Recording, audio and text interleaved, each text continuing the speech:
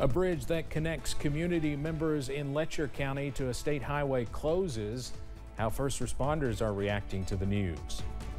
And FEMA is warning folks who survived the April 2nd storms across Kentucky to be aware of fraud, what storm survivors should be on the lookout for.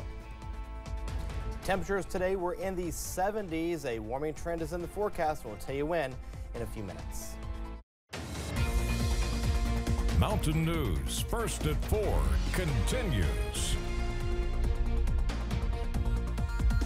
Officials with the Kentucky Transportation Cabinet recently announced the immediate closing of a Letcher County bridge. WYMT's Chandler Wilcox was in Blackey today talking to community members and first responders about how this is affecting them.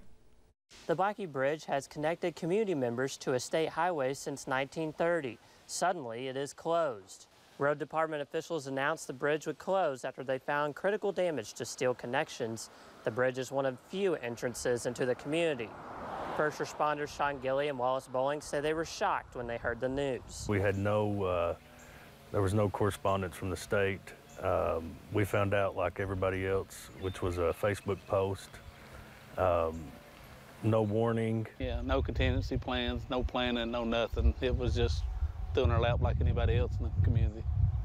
Two alternate routes include Highway 2036 and Highway 160, which first responders say adds at least 25 minutes of drive time to get out of town. Coming up at 6, I will take a closer look at how the bridge closing impacts several parts of the community. And Blackey, Chandler Wilcox, WYMT Mountain News. KYTC officials say they are working on plans to repair the bridge, but there is currently no estimated time when it will be completed. A road collapse is causing major problems out in Wyoming at the start of the summer tourist season. From June through September, roughly 12,000 people use Highway 22 each day to reach destinations like Yellowstone National Park. As you can see, all that remains now is an 80-foot drop that plummets into the valley below. Transportation officials say the mountainside had been shifting for decades at about a quarter inch a year. But when large cracks reappeared immediately after repairs, they knew a collapse was inevitable. Uh, it was moving about six inches an hour. And sometime during the night between Friday night Saturday morning, it had uh, catastrophic failure. Catastrophic is right. Thankfully, no one was injured. It's unclear when the highway will reopen, and even just surveying the damage could take weeks. While officials look for some short term relief options, traveling through the mountainous region could take up to three times as long.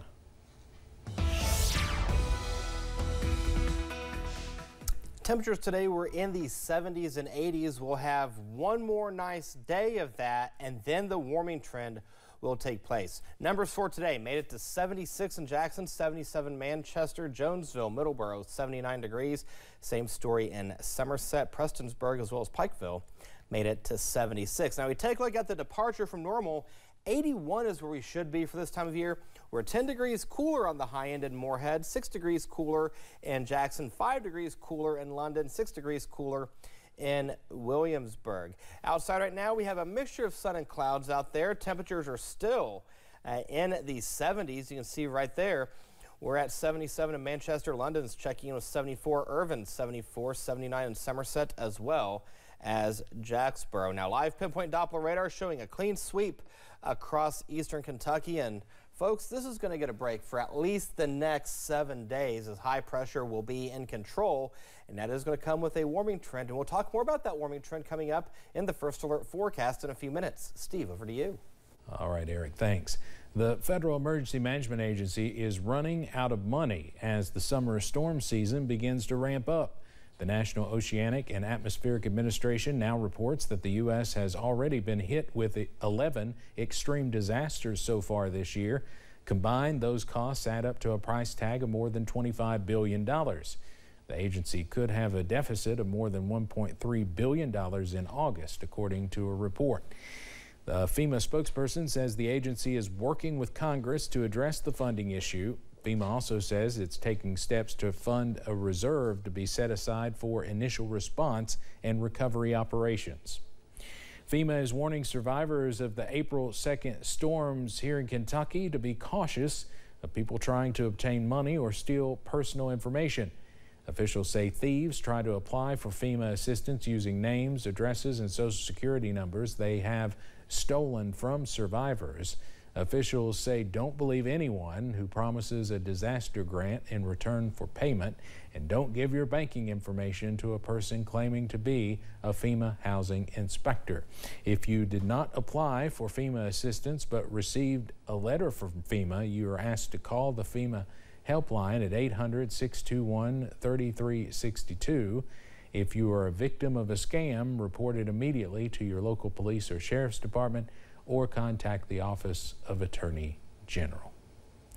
Coming up on First at 4, what some states are doing to prevent rising property taxes with home insurance rates also on the rise. And a beautiful evening is in store. We'll see temperatures in the 50s and 60s, but there is a warming trend in the forecast. We'll talk about that coming up in just a few minutes. Stay with us.